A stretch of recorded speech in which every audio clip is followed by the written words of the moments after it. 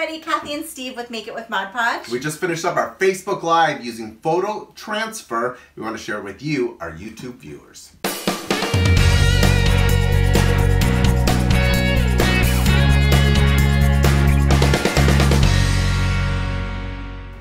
Hi everyone, I'm Cathie Filian. And I'm Steve Piacenza, and we are here with Mod Podge and so excited to be doing Facebook Live. We have lots of projects to show you, and we are going to be concentrating on and showing you our transfer image formula. We're going to be showing you the original formula, and we're going to show you the new super cool clear formula. We've got lots of different projects. We've got 10 plus projects. And before we get started with our tutorial, which is this really cool wedding photo art that we're making with kind of a modern Warhol, Warhol look. look, yeah.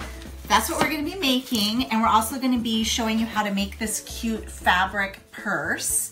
But before we get started with the tutorials, I want to talk about the two different formulas, and I'll explain what works with one and what doesn't Yeah. work with the other because it can be a little It bit gets confusing. a little confusing between the two formulas, but Cathie's a really good talker and a really good explainer. Chatty Kathy. She's going to show you how it's all done.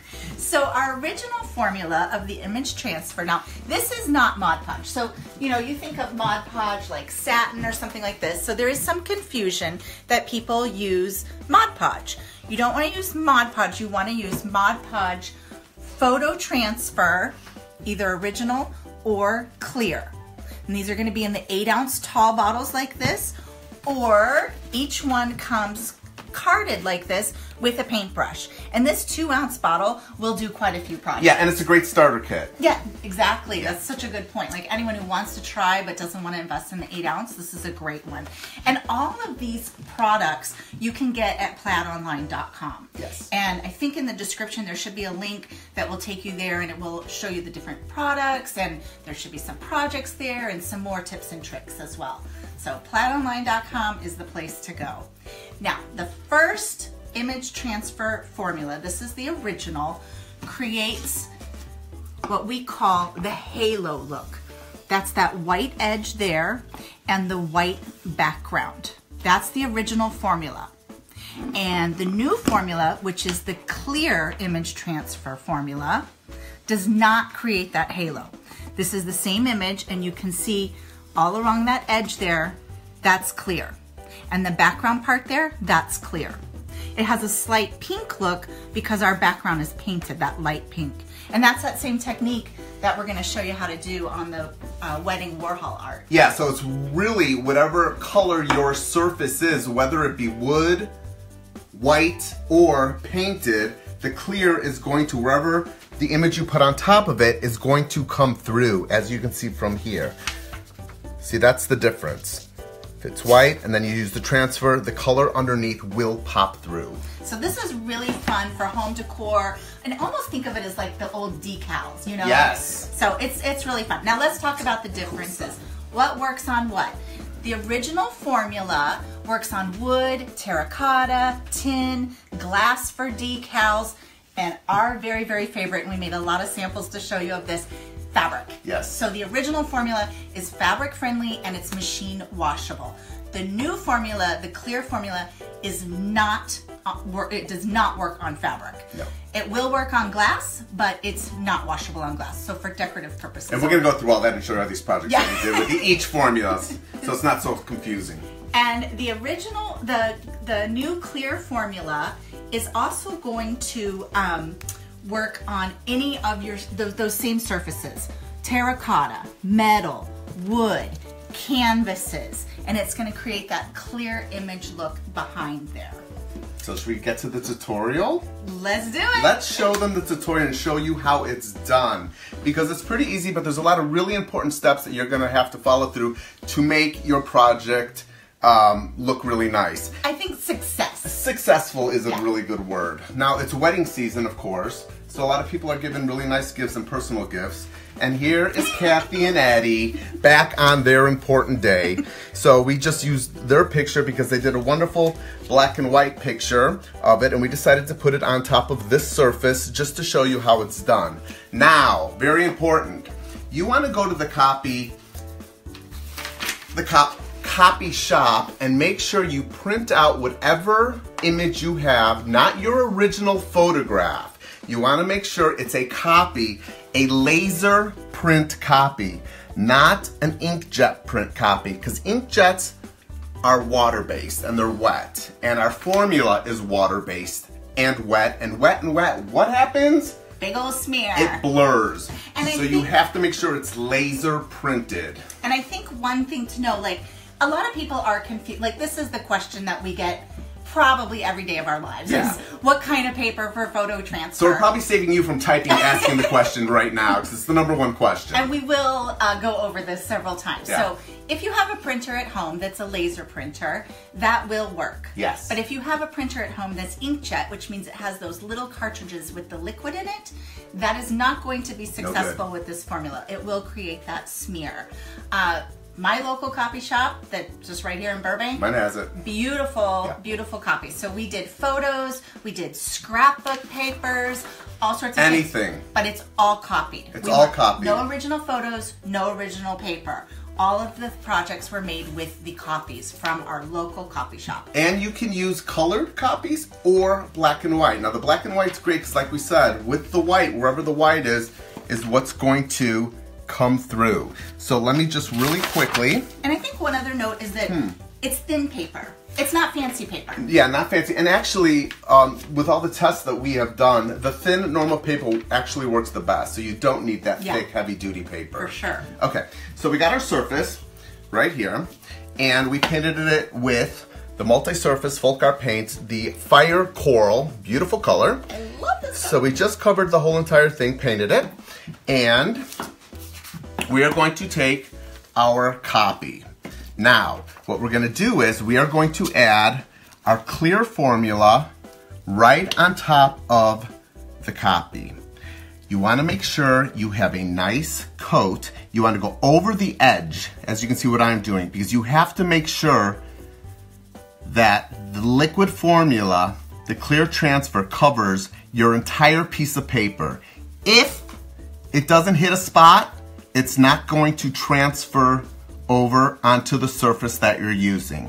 So you can see this is kind of a clear formula. It's a little bit of a milky white. Yeah, and the original formula is going Much to be a thicker. lot thicker. Yeah, Yeah. this is more, this is uh, thinner and clear. So there you go. You can see I covered the whole entire thing. Just like so. Let's just make that nice and even. And again, all of these products can be found at plaidonline.com. There we go. Now, next tip. You're gonna take it off your wax paper and you wanna go in an area where it's white because that is going to be see-through. If you did it on an area where it's black and my fingers touched it and pulled that transfer, you might have a little bit of a hole there. So with my chubby little fingers here, I'm going to take my paper and then go directly on top of your piece of wood and your surface. You got a little bit of time to work with this stuff, And you're really only holding it by the edges. like so, just like that. Okay, next important step. You wanna use a squeegee or a credit card works beautifully. You wanna work from the center and just lightly push that surface down. You wanna make sure that that paper hits your wood surface without any wrinkles or any bubbles. Because again, if you get bubbles in there, it's not gonna transfer over onto the piece of wood. And I like to go into this direction. And you don't want to press too hard because you don't want to No. create creases. You don't have to over squeegee it. That's on there beautifully. I don't see any bubbles. No bubbles, no wrinkles. We are good. Now we're gonna set this aside for 24 hours. You want to let this dry for 24 hours because I like to call it, it's almost like a, um, Cure time. a cure time where the transfer in 24 hours is going to be pressing down onto that piece of wood and transferring over. So we're gonna set It's a this long aside. 24 hours. It is a I- long 24 I will say, the other thing that people say all the time is, Yeah. do I really have to wait 24 hours? Yes. you really have to wait the 24 hours. If you don't wait the 24 hours, it's not going to work. well, I can't guarantee you'll be successful Yeah. if you don't wait because that that is a really important. Well, what we like to do too is do multiple projects. If you're going to pull the stuff out and make it, you know, don't just make one. You can make a. a Oh, you're gonna make well, a this whole is bunch of these well, it's it's Thank it's you. a great way to do a number, a, a lot of Yeah. gifts at the same time. Yeah, absolutely, absolutely. Okay, so it's the movie magic here. Boom, boom, boom. We have one that has been drying for 24 hours, and here it is. And this is what it looks like.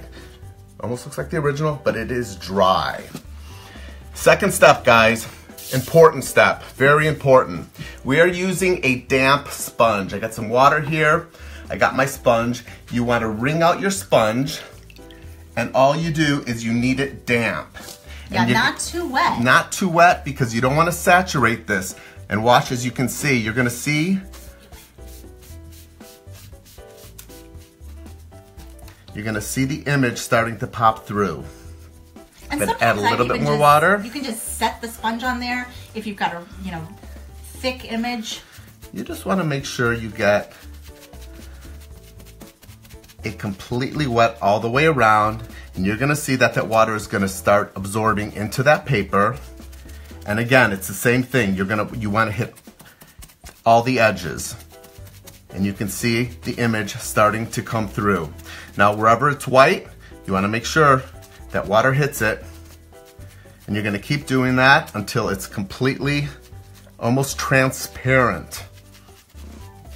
There we go. So you can kind of see what's happening there. The more I'm gonna do it, the more it's gonna come through. It's gonna be completely transparent, that picture. But we can't, um, let's not waste too much time on that because you only have 20 minutes, right, Kath? And at this point, then you just want to let that sit for two minutes. So you just let it sit and let the water soak in. And what I want to show you while that is soaking in is some different ideas. Now, this letter K is done with a piece of scrapbook paper. And that is, we did not Mod Podge that on there. We color copied this just like we talked about earlier. And if you can see, some people say, why not just Mod Podge that right onto the K? This is unfinished wood and if you look closely, you can see the grain of the wood coming through there. We did not paint this one. So if you were to have just Mod Podged the paper on there, you wouldn't get that grain coming through. So that's one of the differences with the clear transfer versus just the Mod Podge. You would just, if you had the paper on there, you would just have that thick paper look and not get that really cool grain look coming through. Yeah, that's the beauty of the clear. You can Oh, you see, and as you can see here, you guys, you take a look, you can see that image even coming through more. We're gonna set this aside and just let that water absorb into that. But we have more projects with the clear right behind me here. This one is one of my favorites here, is this piece of tin. Now, it's a little bucket here, but what I've done is, I did on purpose, I did a little bit of this um, roughening up. These are labels, so it gives it that, that kind of aged down look. And this works And on just- tin beautifully. You can just rub it extra hard. If Yes. you want to create those holes like an old antique piece, just rub it there. I mean, we wouldn't encourage that for your photo projects like this, but it's really cool technique for something distressed. and home decor. We did this jewelry box here. I think Cathie, you're keeping this, aren't you? It's so cute. So this is just an example to show you how it works on furniture as well. And there's a few things to point out, and we're gonna go into more detail about reversing images a little bit later. But if you have uh, an image that has words on it, that will need to be reversed on the copier. But like I said, we're gonna discuss that in detail in a little bit. Uh, one thing I do wanna show you is this was blue to begin with. So we have our black and white images here, and that's with the clear transfer, so you get that blue popping through. And this is clear transfer as well, but that is uh, full color. So you'll just get little pops of the blue coming through. Or we just did a little extra distressing on it. And a perfect example of the tin again, here's the piece of paper, and as you can see, the white completely around it. But with the clear transfer, we did it on a piece of tin, and you've got that clear behind it. This is a great decorative wall hanging. And this is an example of sort of that modern look again. So you can take any color cop or any color photo and you can just set it onto the copier machine and choose black and white. So even though it's a color copy, it's black and white. So you wanna look for um, images that have high contrast, like the light dress and the dark hair. That's a really good example of high contrast. Again, this started out as a color picture. You just put it on the copier and select black and white instead of color. Such a cool modern look. Love this I mean, you can do, you know, very soft and vintagey, and Mm-hmm. with the same formula, you can do this modern look. Yeah, and here's a color copy using the clear formula. Again, people are saying, well, why not just cut the piece of paper out and slap it onto your surface or a piece of canvas? And the difference is, is I'm hoping this reads, like on a piece of canvas, you can see the canvas. It almost melds through mm-hmm. right down into the piece of canvas where you get that canvas look. If it was the paper on top of it and it was just Mod Podge, it would just be a piece of paper. And I think a great example of that is these rocks that they almost look they almost look like fossils that it melds right into the rock. You can see that right there. Yeah, right into the cracks. Right into the cracks and the grooves, and it gives it that almost false fossilified. Is that a word? I don't know if that's I don't know if it's not. I just made one up. But Oh, that's he's famous for making yeah. words. that's the beauty of this stuff. So that um, the feathers started out as a piece of decorative um, scrapbook paper that's designed to go in a frame, but we color copied it and cut out the feathers and then applied them to the rock with the clear transfer. And we're gonna work with the feathers with the original formula too. They were super fun, but it's really endless. I mean, you can you can use Oh, yeah. these on rocks, wood, and it, it works on so many different surfaces and even glass. Yeah, and it's fun just to mess around with the stuff and kind of, you know, if you have a, a for me, furniture is great. Yeah, oh, yeah. I love using furniture. If you have an old piece of furniture, this stuff is amazing on it for uh, home decorations and, um, you know, just kind of anything around the around Well, the I think room. wall art, like a good example is um, just using your vacation photos or your family photos. Yes, vacation photos. Here's another one with the little slats in between. We wanted, we just cut the pieces of paper to fit. It was a poster um, of, it was, no, this one was the, the, Yeah, it was um, a poster. It was a poster Yeah. that we did. But you I can also, actually take that photo. I've you never been. yeah, well, you can do vacation photos, which is great. And bring them to the copier and blow them up or shrink them down. That's the other thing. Make sure it's laser paper, of course. And we just cut them to size and then put them on this um, this wall palette. hanging. I love that. So people would use regular printer paper, but it Regular must be printed on a laser printer. Yep. Correct. Regular, thin paper. Yep. Not the really thick stuff. Not and laser, laser, laser. Inkjet will not work because inkjet is wet. The formula is water-based wet, and the two together will smear, so it will not work. You have to do uh, laser. And I think what's important to note about the type of paper is that the technique that we're doing. If you notice, this is wet now, and the next thing Steve is going to do is he's going to gently rub away that paper. So if you had real thick paper, this process would take many, many more times. So the thinner the paper, actually, this step will go a lot faster. I'm gonna wet this a little bit over here. Okay, should we start on this? Should we do the, um, yeah, okay. So you ready to rub it up? It's not, this one has to sit for 24 hours. That one sat for 24 hours. Oh, that one did sit for 24 hours. This is the one. Oh, jeez. I got, I got too many step outs. I know, it's confusing. Okay, here we go. So this is really important, guys. What we're gonna do is, this is a five layer process here. I'm wetting it and I'm rubbing and I'm doing circular motions. Now, the deal is with this is you're taking off layers on top of layers. So you wanna be gentle with this. And as you can see, the paper is coming off and that image is coming through. But what's most important is not to over rub it and certainly not to rub it down to the point where you're going to rub off your image. So you're gonna rub it off, and then as you can see, this paper's coming off, and you're gonna get gonna get to a point where you're gonna know to stop. So here it comes. Here's the image.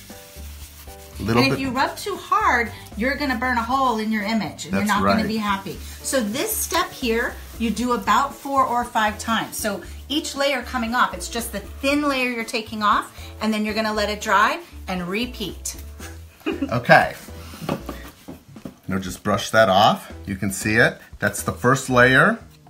and I'm gonna set this aside and you're gonna wanna let that dry. The white's gonna come back out of it, but I think you're gonna let it, wanna let it dry. It's probably about, I don't know, I would say 10 minutes. Yeah, 10, you'll It's know. a, you'll know it once it starts getting foggy again. And I want to show Steve this one too Yeah. before you move on to that next step. This is what happens if you rub too hard. So we made this sample board here. You can see that all the, excuse me, that paper's still there, but look, we've burned holes right in there. So you don't want to rub too hard. Okay, so here's one, guys. This is about four layers done. So this is my next step out. It's about four layers done. So I'm gonna do almost the final layer. I got my sponge, my damp sponge. I'm gonna go on top of it again and just go into circular motions. And there's Cathie. Look at Cathie. We are revealing you. The 2004 me. The 2004 Cathie. And as you can see on layer five, there we have it. Oh, look at how pretty. There you have the final layer right there. And that is the fifth rubbing layer. So remember, it's five different layers. Take your time with this and go gently and easy.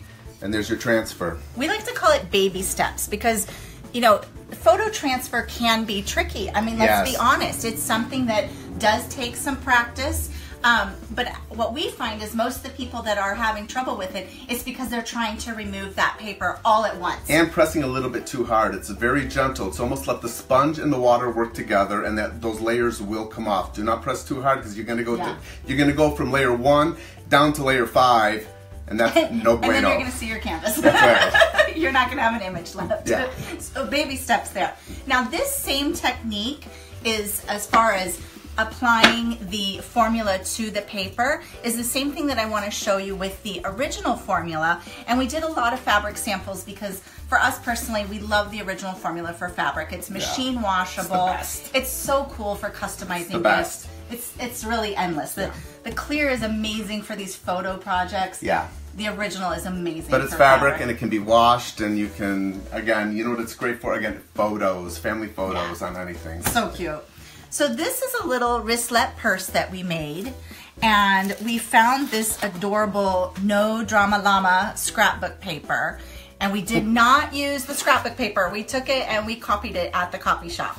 So we started with a copy of it and we applied it to our bag the exact same way Steve just showed you.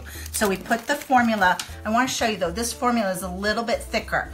It's going to look like white and thick, okay? So it's gonna go on thicker than the, than the clear formula. So we applied that and we placed it down onto our surface and we waited 24 hours. It's like, it's so long because you're like, oh, can I do it yet? Can I do it yet? Can, no. No. So same technique. I'm gonna, just for sake of time, I'm not gonna wait the two or three minutes to let that soak through because we don't need to sit around and wait for that. But as you can see, you can start to see it coming through and then you'll do that same technique where you're gonna rub it. I've already got a little bit of the paper coming up.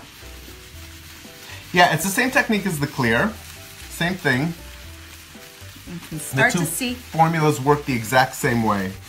So it's going to, um, there comes some of the paper there.